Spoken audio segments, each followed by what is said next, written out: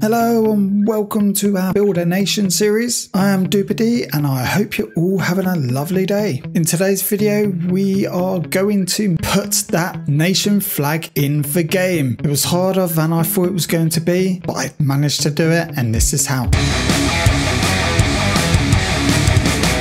First thing that I'm going to do, as you can see, I have resource archiver up and I've done this already, by the way, done this already just to test that this is the way to do it because I've never done it. If normally if you want logos or flag packs or things like that, you normally go on FM Scout, right? And download the pack, create folder, extract it, go into a game, clear cache, reload skin, and bang, it's done. We still need to do those last two phases, but I want to show you how you can just change one flag. For instance, if you're doing what we're doing, then this is great to do. So what you want to do is extract archive. What we will do is just go back a bit, just so that you can see where it is. So in my D drive, we want to go to Steam or wherever Steam's saved in your drive. Then we want to go to Steam apps go to common, find football manager 23, go into data, and then we want to look for graphics and that's within game. And if we keep on going down and there's graphics. So what we're going to do is we're going to load that. And you select a folder where you want it. We created a folder before where we had comp editor files that we were playing around with, but I created a new one. So if you go back and just select the folder that you want to in your documents,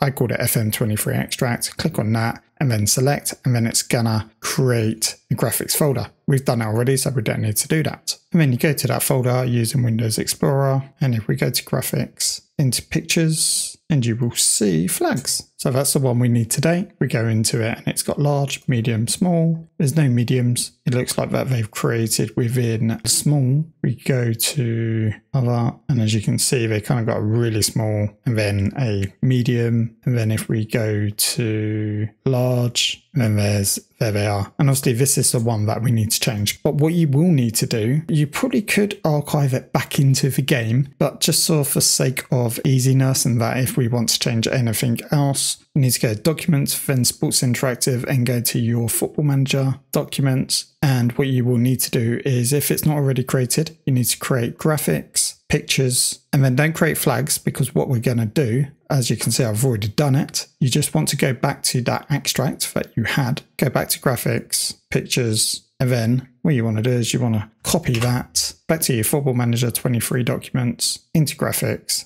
pictures, and then paste flags in and then open up and then you will have all of those flags. If we go Europe, for instance, there you go, there's all the European flags. So what I did is I opened all three of them in Photoshop. You can probably do this in any photo editing software. But good thing about Photoshop is that you can do a hell of a lot more. So for instance, I created a layer that would flex around the image that I already have. So here's the image and I put in my flag in here and then I connected it to the lower flag so that it gets me those curves. So it's exact same shape as everything else. And then I did that on for very small and then for small. You can see that it's quite blurred. It's because it's very pixelated, but if you go into game, it will look not too bad to be fair. So I saved all of them and what I did is I saved them into where I needed them, just saved them over. So I extracted them from Photoshop and as you can see, saved it into that one and then saved them both into here. Just want to quickly show you there's the extra small, there's the small, and then obviously where we was for large. So if that's not showing anywhere for you, what you want to do is you want to go to the menu and go to preferences and then you want to make sure you're on advanced, go to interface. And what you need to make sure is where it says skin, this is unticked. Use caching to decrease page loading times and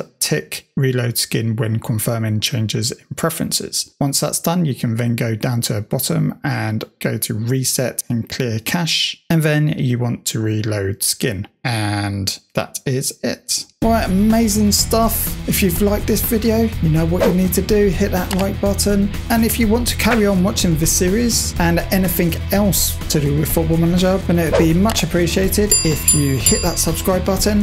Thank you for watching. Have a great day.